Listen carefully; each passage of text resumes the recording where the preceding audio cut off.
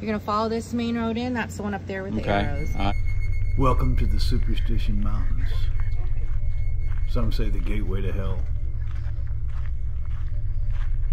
The Apaches once called this the land of the thunder god. The Jesuits and the Spanish believed it was cursed. When darkness falls, the foolish stay, the wise retreat.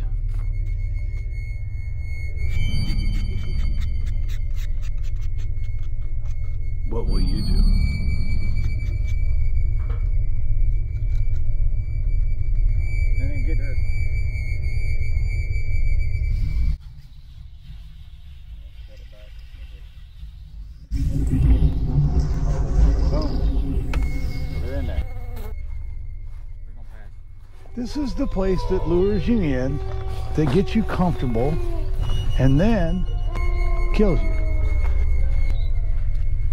Elizabeth, what are we looking at right here?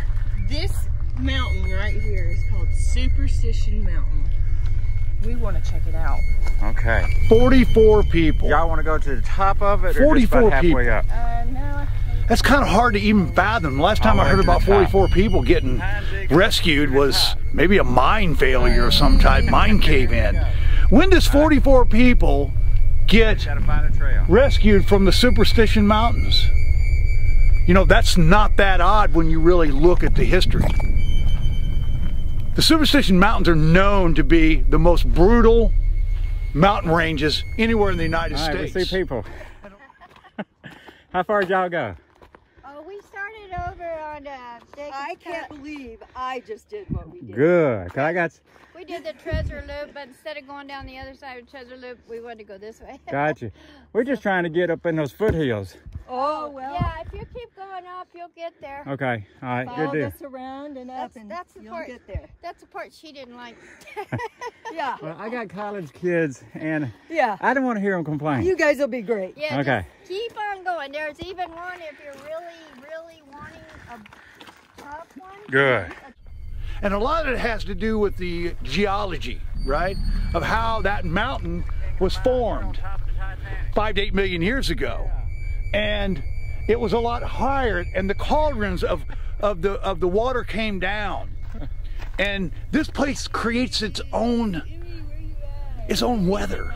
How does that even happen? How can you be in a place that can snow and it's 120 degrees?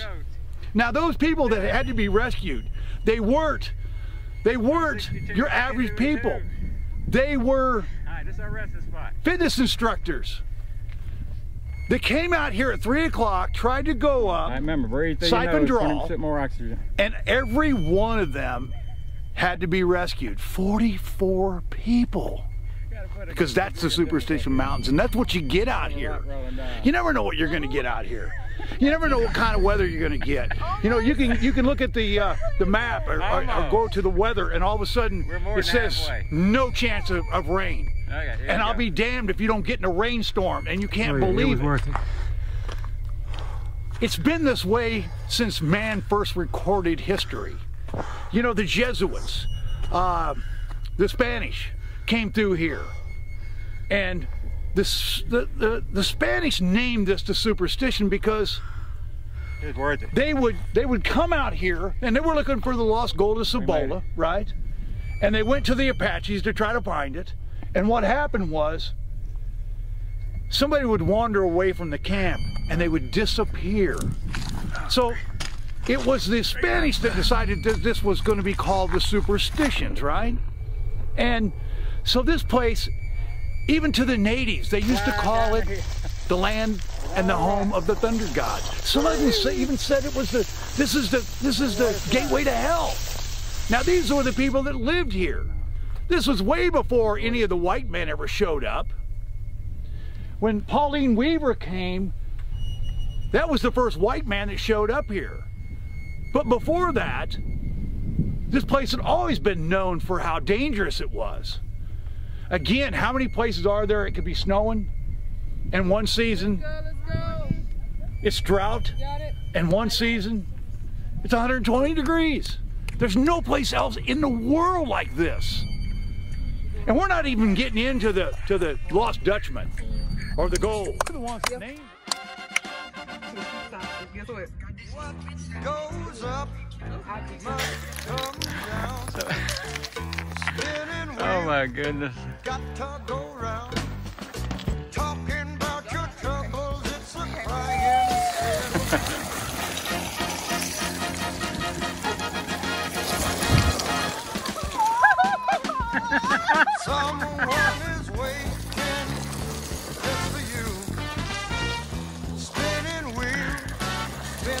If I'd have told y'all we were going to be sliding on our butts down a mountain, would y'all believe me?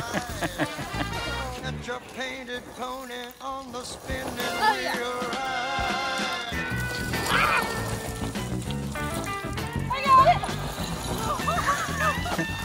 I'm going to slide with you.